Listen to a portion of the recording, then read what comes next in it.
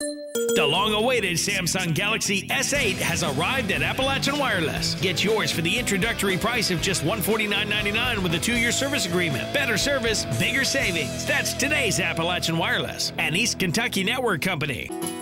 The city of Prestonsburg was filled with music and art Saturday in an effort to celebrate the talent of our region and shine a light on an otherwise darkened day.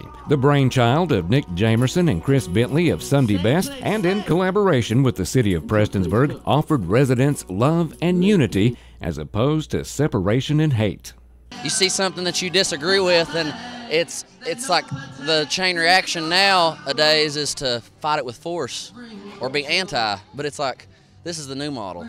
Let's just celebrate each other and practicing what you preach instead of just preaching at people and telling them to do this and do that. It's like, well, just be you. Be be be that love that you want to see in the world and be happy and not be about anti someone else, you know. So it's a uh, it's good. It's good stuff. Offer people positivity over negativity, and many will choose positivity. We are trying to avoid the negativity that's going on in Pikeville. So, um, whenever that we seen that Chris was putting on Star City Days, we wanted to come down here and support the music and the art. I'm not going to follow hatred. I don't support hatred. I don't know.